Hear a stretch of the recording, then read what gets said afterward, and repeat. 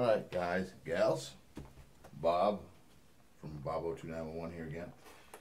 I'm going to uh, uh, take the uh, trigger out of the package. Now, when you guys do this, you have to be very careful uh, not to pull the trigger, because um, if you do, what's going to happen is your springs are going to go flying everywhere. Um, ask me how I know. Happened on the first one. Anyway, um, let's open up this package here and uh, check it out. Get a close up, close up view of it. See what it looks like. Okay, let's see.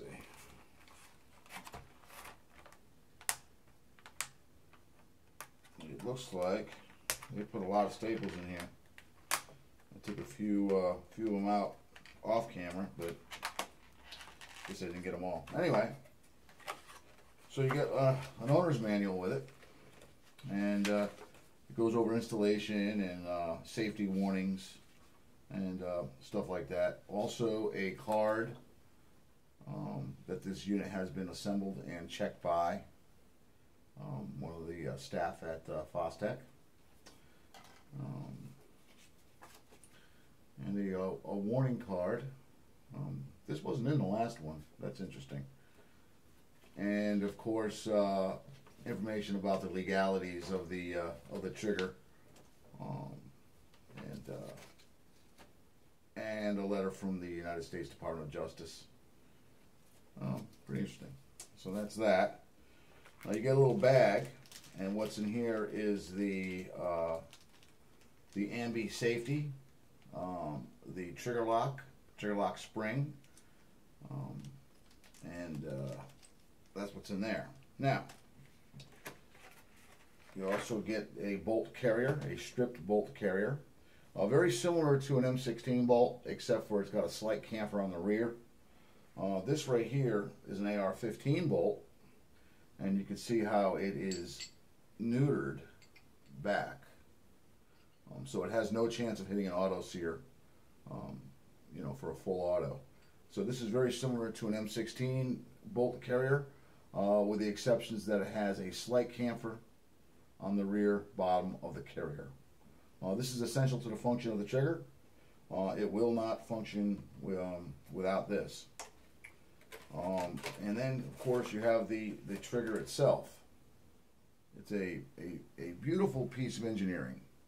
Um, I'm very impressed with it. Um, the other trigger I have in the rifle that you see in the uh, background there uh, has one installed and functions absolutely fantastic. I'm very happy with it, as I said in the other video.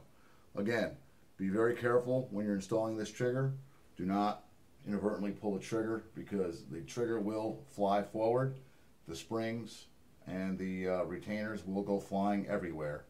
And uh, you'll have a heck of a time actually um, probably locating some of those. So um, that's that's it. I just wanted to touch base on that real quick because I failed to do that in the last uh, video. But uh, this is the the actual trigger. And, uh, and that's that. Very nice. Very nicely made. So that's what you get. You get the trigger mechanism itself and the little pieces that go along with it. The bolt carrier, stripped bolt carrier of course, and uh, the, uh, the parts, trigger lock, ambi safety, and uh, and stuff like that. So I'm gonna do a little video on the installation of uh, this particular trigger into a lower, and uh, hopefully you guys uh, enjoy that. And well, that's it. So you guys have a very pleasant day, and uh, I'm gonna start getting ready for the the next video. Have a great day.